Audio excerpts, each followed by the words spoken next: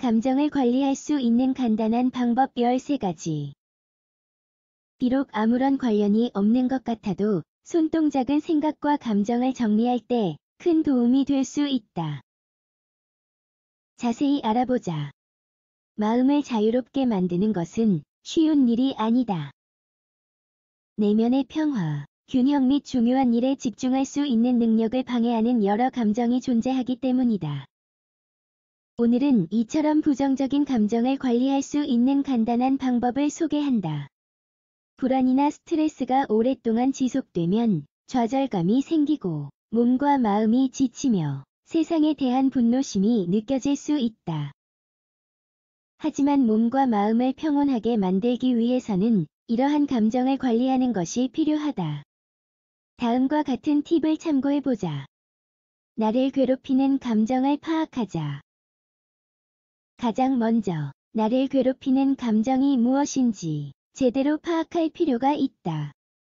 이를 위해서 명상의 이점을 활용하는 것이 좋다. 또한 명상 외에도 다음과 같은 이완요법이 있다. 산책 걷기 또는 달리기가 명상보다 더 쉽다고 말하는 사람들이 있다. 목욕 긴장을 풀어주는 목욕은 여러 생각을 정리하기에 이상적인 방법이다. 한 시간 동안 조용히 생각을 정리해보자. 종이에 두 개의 기둥을 그려보자. 첫 번째 기둥에는 자신이 느끼는 감정을 적고 두 번째 기둥에는 이를 유발하는 요인을 적어보자. 이때 솔직하게 모든 감정을 정리하는 것이 중요하다. 마음을 자유롭게 만드는 법 1. 화가 나거나 분노가 느껴질 때 색종이 몇 장을 가늘고 긴 조각으로 찢는다. 천천히 집중을 하면서 하는 것이 중요하다. 모두 찢은 다음에는 종이를 따아 보자. 이처럼 단순하지만 반복적인 행동을 통해 해결 방안을 발견할 수 있다. 2. 이해해야 할 때. 만다라를 색칠해보자. 서두르지 말고 침착하게 생각을 정리하기 위한 행동이라는 점을 잊지 말자. 3. 슬픈 감정이 느껴질 때 뿌리가 길고 하늘에 닿을 수 있을 정도로 높은 가지가 있는 나무를 그려보자. 4. 불안할 때 천으로 인형을 만들어 보자. 자신의 손으로 만든 인간의 형상을 한 인형을 보면서 약간의 평화를 느낄 수 있다. 5. 걱정될 때 걱정이 된다면 종이접기가 큰 도움이 될 수 있다. 가위나 풀을 사용하지 말고 오로지 손으로만 종이를 접는 방법을 추천한다. 6. 기억해야 할 때. 무언가를 기억해야 할 때는 미로를 그려보자.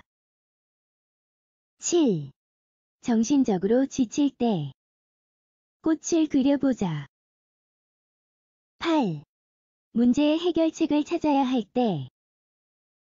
파도가 있는 바다를 그린 뒤 적절한 색상으로 색을 칠해보자. 9. 무언가에 가로막힌 느낌이 들 때. 마음을 평온하게 만드는 방법이 도저히 떠오르지 않는가? 이러한 경우에는 소용돌이 모양의 곡선을 그려보자. 10. 내가 원하는 것을 제대로 알고 싶을 때.